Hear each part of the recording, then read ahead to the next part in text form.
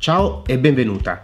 Oggi prepariamo insieme la crema diplomatica, anche chiamata chantilly all'italiana, e la prepareremo nella sua versione classica e con una piccola variazione. Ora iscriviti al canale e partiamo subito con la videoricetta.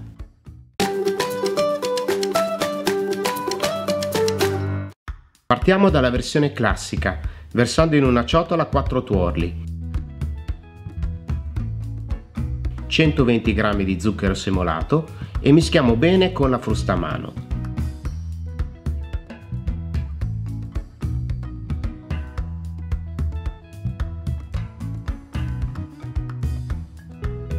Incorporiamo 25 g di farina 00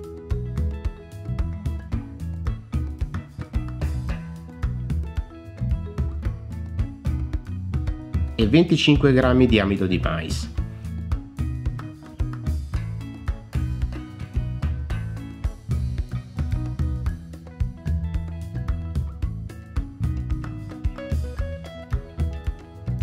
Versiamo un goccio di latte e mischiamo bene.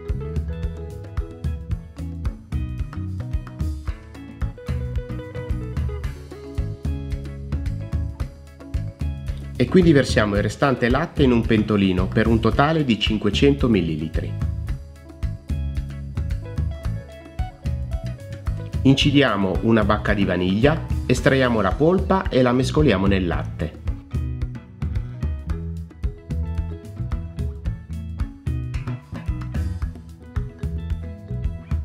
In alternativa possiamo aromatizzare con la scorza di un limone biologico.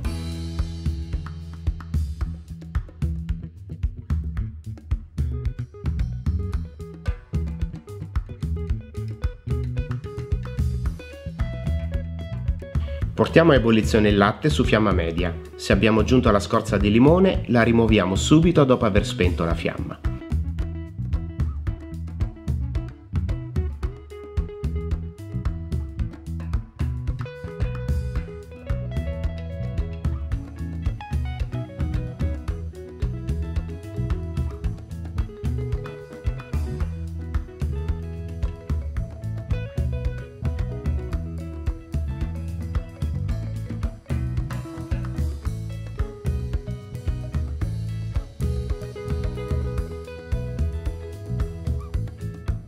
Quindi versiamo il composto con i tuorli nel latte, riaccendiamo il fuoco a fiamma bassa e riportiamo a ebollizione. Se usiamo le dosi di farina e amido indicate, lasciamo bollire la crema per 2 minuti mescolando energicamente.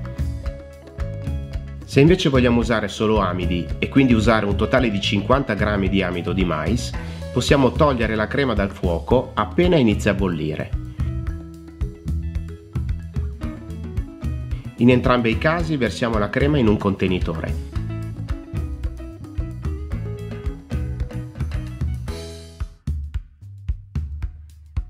Copriamo bene con pellicola trasparente e lasciamo raffreddare per poi conservare in frigorifero a 4 gradi centigradi.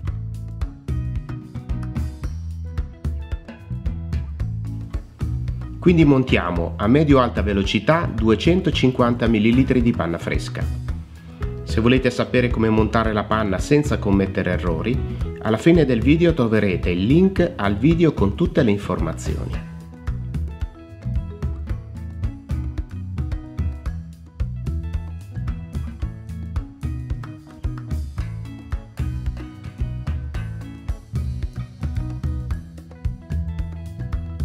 Ora non rimane che mischiare la panna montata nella crema pasticcera, incorporandola in due porzioni con lenti movimenti dal basso verso l'alto e facendo attenzione che la crema e la panna abbiano la stessa temperatura.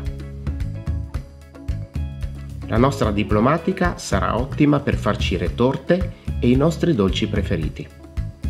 Come alternativa, se vogliamo una chantilly all'italiana con maggiore densità, possiamo aggiungere a 200 ml di panna 120 g di mascarpone e montare tutto ad alta velocità.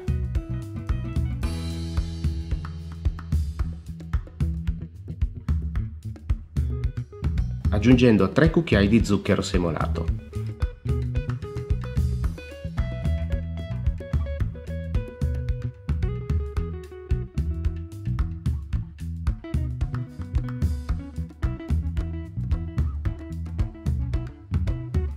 Quindi incorporiamo la panna come visto in precedenza